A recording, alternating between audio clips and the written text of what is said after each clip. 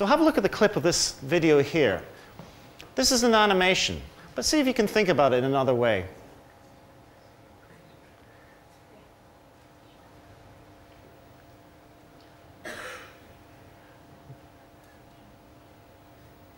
There we go.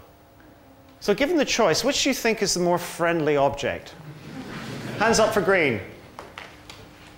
Hands up for yellow square.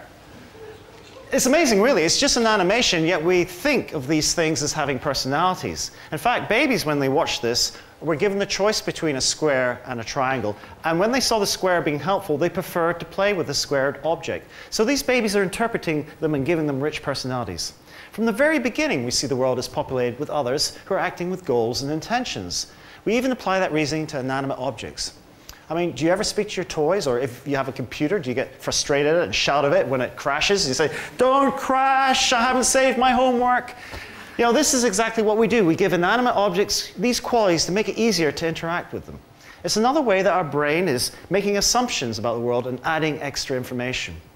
Movement provides not only a rich source of what someone is like, but a channel of communication where no words are exchanged.